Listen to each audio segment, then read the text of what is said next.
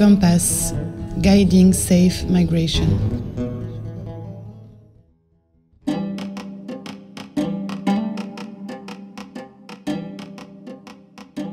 Hi, my name is Lee, Protection Officer for IOM as part of the Compass Initiative. Hi Lee, this is May from IOM Egypt. I heard that the Compass team is working on case management guidelines.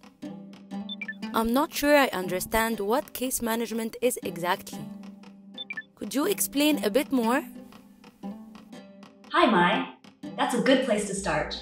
Case management is a way to support migrants who need protection or other assistance. It's an approach that has its roots in social work and helps make an individual's protection journey as smooth and positive as possible. The guidelines that we developed can be used for migrants of all genders and ages in countries of origin, transit, and destination. That sounds fair.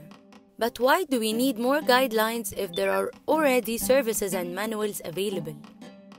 Excellent question.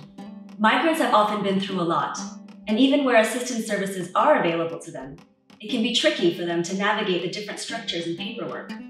This can scare people from starting their protection journey. The case management guidelines start from an individual migrant's needs and connect the dots between those different assistance structures and providers. The guidelines improve coordination between different structures and their activities by aligning their planning processes and follow up of individual cases. This way, we can support migrants better, together. Okay, I see. So these guidelines are for caseworkers. How will we make sure that they know how to use them and it doesn't just stay a document? You're right. The case management guidelines are developed for caseworkers and others providing individual assistance to migrants. And for the guidelines to work, we need to make sure people in the field know how to use them. That's why IOM, with the Compass Initiative, has already started training case management workers in 14 countries worldwide. But that's not all. The case management guidelines can also be used by other international organizations, NGOs, or governments. The way that they're built acknowledges differences in service delivery methods and capacity of different countries. They're flexible and can fit into existing structures. That's great. I hope that we can start using them soon. Where can I find more information if I need it?